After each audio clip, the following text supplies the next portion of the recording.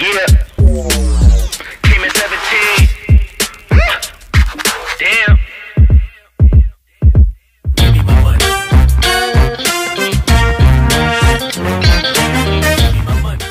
Kabar mengejutkan datang dari pemain timnas Indonesia, Egi Maulana Fikri jelang Piala AFF 2022. Ia resmi dilepas oleh klub Slovakia, FC Vion Slet Moreivis pada hari ini tanggal 15 Desember tahun 2022. Kabar tersebut datang langsung dari laman resmi dan Instagram Moreivis, @vienslate_moreivis. Pemain kelahiran Medan ini pun mengucapkan terima kasih kepada klub karena telah diberikan kesempatan untuk bermain di sana.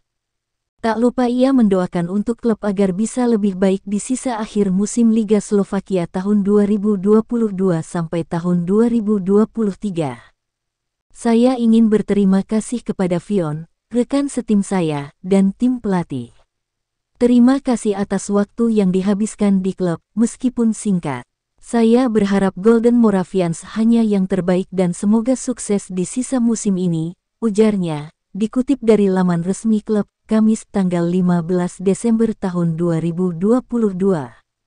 Sekadar informasi, Egi Maulana Fikri dikontrak klub Slovakia sejak Agustus silam. Sayangnya, Egi tak banyak diberi kesempatan bermain oleh pelatih.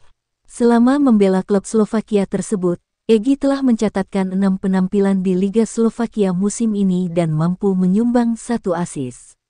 Dia juga tampil tiga kali di Piala Slovakia 2022.